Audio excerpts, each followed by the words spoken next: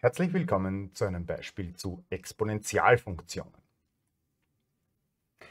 Von einer Exponentialfunktion f, Gleichung f von x ist 25 mal b hoch x, kennen wir eine Eigenschaft, und zwar wenn x um 1 erhöht wird, sinkt der Funktionswert auf 25% des Ausgangswertes und wir sollen den Parameter b angeben.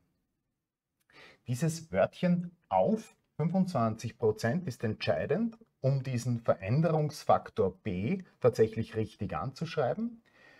Das heißt, wenn unser Ausgangswert auf 25% sinken soll, so bedeutet dies, dass wir einen Veränderungsfaktor von einem Viertel oder 0,25 haben. Das heißt, der richtige Veränderungsfaktor beträgt 0,25.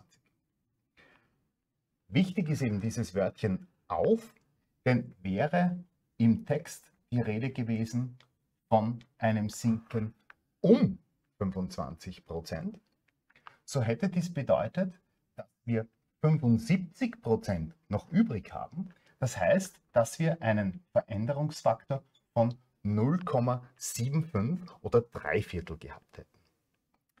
Somit haben wir das Beispiel richtig gelöst.